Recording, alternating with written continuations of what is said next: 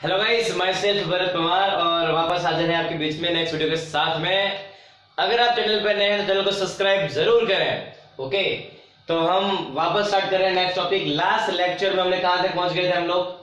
Incomplete dominance last class में हमने क्या टॉपिक किया था कंप्लीट इनकम्प्लीट डोमिनेंस अब यहाँ हम क्या करने वाले हैं? को डोमिनेंस क्या करने वाले हैं?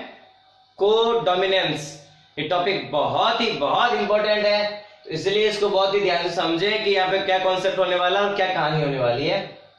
चलिए, इसका नाम से समझ में आ रहा है को डोमिनेंस क्या वाला को डोमिनेंस पहले में क्या था? इनकम्प्लीट डोमिनेंस या क्या है? को डोमिनेंस यानी कि यह बोल रहा, पहले पे तीन टोटल केस है डोमिनेंट इनडोमिनेंट मतलब in incomplete dominance and codominance पहले में तो मोटे ने दबा दिया। दूसरे में दोनों फाइट कर तो मिक्सर निकल गया। तीसरे बोला, देख भाई, ऐसा नहीं चलेगा। तू अपनी ताकत दिखा, मैं अपनी दिखाया। दोनों इंडिविजुअली एक्सप्रेस हो रहे हैं। डोमिनेंट भी एक्सप्रेस हो रहा है और रिसेसिव भी एक्सप्रेस हो रहे हैं यहाँ पे। यानी यहाँ पे दोनों allele both allele of gene express no blending character यहाँ पे कोई करेक्टर की ब्लेंडिंग नहीं होने वाली मिक्सर नहीं बनने वाला, दोनों के दोनों यहाँ दिखने वाले आपको एफ़ जनरेशन के अंदर इसकी रिज़ल्ट आने वाली है। कहानी क्लियर अब यहाँ पे समझना है कि इसके लिए मैंने कितने एग्ज़ाम्पल लिए हैं? तीन एग्ज़ाम्पल हैं। आपको शायद बुक में एक ही एग्जांपल मिलेगा या नहीं भी मिल सकता है बट यहाँ पे मैंने कितने एग्ज़ाम्पल लिए तीन एग्ज़ाम्पल के द्वारा आपको यहाँ पे मैं जो कोड फंडा क्लियर करने वाला हूँ। अगर आप चैनल पे नए हैं और आपको हमारे साथ पढ़ना है तो चैनल को लाइक शेयर एंड सब्सक्राइब ज़रूर करें आपके फ्रेंड सर्कल में। आप जो भी स्कूल में आपका जो भी व्हाट्सएप ग्रुप बना हूँ हर एक तक लेट मी एक्सप्लेन की वीडियो शेयर करें, क्योंकि ये जो बंदा है, आपको पूरे ट्वेल्थ की वीडियो उसी डीप नॉलेज के साथ में देने वाला है। Totally NEET syllabus and board syllabus with all practical and with college students के लिए भी सारे माइक्रो बायोटेक फार्मास्यूटिकल्स टोटल आपको यहाँ पे वीडियो मिलने वाला है तो शेयर ज़रूर करें। चलिए स्टार्ट करते हैं हमारा पॉइंट वन हमारे पास में को डोमिनेंस क्या वर्ड बोला मैंने यहाँ पे? को डोमिनेंस यहाँ पे सिंपल बोला कि दोनों जो एलील है, दोनों जो जीन है, दोनों जो है डोमिनेंट और रिसेसिव इंडिविजुअली एक्सप्रेस होने वाला। मैं एग्जांपल समझते पहला example cattle for coat colour क्या है मेरे पास में? हमारे जो पालतू जानवर है एग्ज़ाम्पल गाय। क्या एग्ज़ाम्पल है? गाय। तो यहाँ हमारे पास गाय लो भैंस तो जो समझ में वो लो पर यहाँ पे मैं लेता हूँ, गाय लेता हूँ, ठीक है? अब गाय का जो मैं कह लिया मैंने यहाँ पे कोट कलर कह लिया मैंने गाय का? Coat colour. अब कोट कलर का मीनिंग यहाँ पे सपोज़ दैट मेरे पास में ये गाय बना रहा हूँ मैं, ठीक है? ये गाय में, गाय थोड़ी ऐसी होती है यार। भाई, मुझे गाय बनाना नहीं आती है। समझ लीजिए गाय है आप, ठीक है? सिंपल समझ लीजिए गाय है। ये गाय समझ लीजिए, मेरे को नहीं बनता है गाय बनानी नहीं आती है। चलिए, ये गाय है। ऐसे होती नहीं है, गाय की कब से मुँह ऐसे होने लगा है? थोड़ा सा। इसके सींग है, ठीक है? ये गाय है। नहीं लग रही है ना, मुझे पता नहीं लग रही है बट अब ऐसे बन रहा है, बना लीजिए, कोई दिक्कत नहीं। ये कौन सी गाय है? लाल कलर की गाय है, और बाजू में कौन सी गाय है? ये दो सिंग है और ये है। ये कौन सी गाय? है ये व्हाइट गाय। है ये कौन सी गाय? है रेड गाय। ये कौन सी गाय? है व्हाइट गाय। क्लियर अब मैंने इन दो के बीच क्या करा मैंने क्रॉस करवाया। क्या करा मैंने? क्रॉस करवाया। मैंने black sorry red and white के बीच मैंने क्रॉसिंग करवाया। तो इसके जो गैमिट बने, वो बने मेरे पास में आर वन एंड क्या बने मेरे पास में? आर टू ये क्या बने मेरे पास में? गैमिट बने। क्लियर अब जब इनका क्या आपस में क्रॉसिंग करवाऊँगा क्या बनेगा मेरे आर वन आर टू क्या बनेगा? आर वन आर टू यानी कि अब ये जो बना, ये बना क्या? रोवन क्या बना है? रोन कलर ओके मतलब यहाँ पे दोनों कलर इंडिविजुअली एक्सप्रेस हो रहे हैं। यानी ये वाली जो गाय आप जो देखने वाले हो, इस गाय के अंदर दोनों कलर आए हैं। कौन कौन से कलर रेड कलर भी है, गाय में रेड कलर भी है और व्हाइट कलर भी है। क्या है? गाय में क्या दिख रहा है आपको? रेड कलर भी आया है, गाय के ऊपर रेड धब्बे भी हैं और व्हाइट धब्बे भी हैं। तो पूरी गाय में क्या, गाय के पैर कहाँ से? ये लो गाय के पैर। ठीक है? गाय में क्या हुआ यहाँ पे? रेड एंड व्हाइट दोनों स्पॉट आपको देखने को मिलेंगे। यानी दोनों की यहाँ पे क्या हुआ? तो टोटली इंडिविजुअली एक्सप्रेस हो रहे हैं। कहानी क्लियर सेम कहानी के अनुसार मैं आपको निकालूँगा। F2 की सेम कहानी में ज़्यादा लंबा खींचूँगा नहीं, सीधा कॉन्सेप्ट समझ लीजिए डायरेक्ट ठीक है? ये क्या बना मेरे पास में? R1 R2 R1 and then R2 result क्या आएगा? सेम कहानी समझ लीजिए यहाँ पे।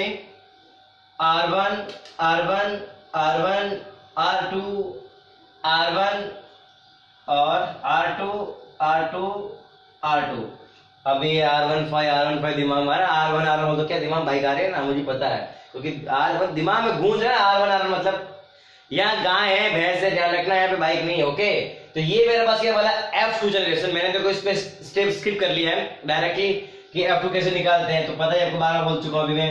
एफ़ टू क्या निकालोगे? F one cross F one करोगे तो R one R two cross R one R two step direct skip पहले सीधा मैंने आपको दिखा दिया। अब आपको दिख रहे हैं यहाँ पे इसके फिनोटाइप और जीनोटाइप दिख रहे हैं आपको बिल्कुल क्लियर दिख रहे हैं? ये मेरे पास कौन सी गाय है? रेड गाय। कौन सी गाय है? रेड ये क्या है? व्हाइट ये क्या है? व्हाइट ये क्या है मेरे पास में? रेड एंड व्हाइट अरे, उल्टा हो गया। उल्टा हो गया। सॉरी सॉरी सॉरी ये क्या हो गया? Red and white red and white ये क्या ओनली फॉर व्हाइट हो गया। क्लियर सेम कहानी। One ratio two ratio one बेजिम उतरा, पक्का बहुत इजी टॉपिक कुछ कंफ्यूजन नहीं है। याद रखना कोड डोमिनेंस पे एग्जांपल क्या मेरे पास? में cattle for coat colour coat colour का एग्जांपल ज़्यादा फ़ेमस है। क्लियर अब आ जाओ इनके। कौन सा अदर एग्जांपल भी है? ए बी ब्लड ग्रुपिंग का इनहेरिटेंस कौन सा? Only for A B A B जिसका ब्लड ग्रुप है, इनके बीच का इनहेरिटेंस यहाँ पे हमें समझना है। तो डायरेक्ट समझ रहा यहाँ पे देखो डायरेक्ट कॉन्सेप्ट करवा रहा हूँ। मैं कुछ भी यहाँ पे एफ़ वन नहीं करवा रहा हूँ। सीधा कॉन्सेप्ट दे रहा हूँ। डायरेक्ट ओके तो यह मेरे पास में capital A then B A then B कहानी क्या बनी यहाँ पे? A A A and then B A B and then finally B and B भेजे उतर रहे ना आपका? क्या रिज़ल्ट निकला है टोटल देखिए? फिनो टाइप की बात कर रहे हैं। क्या निकला? ए केस ये निकला है। A then B and then ये केस निकला है। निकले। One ratio two ratio one यानी ब्लड ग्रुप कौन सा? A blood group and then क्या है? A B blood group and then कौन सा है? बी ब्लड ग्रुप भेजम उतरा। तो ये कौन सा कॉन्सेप्ट आपका?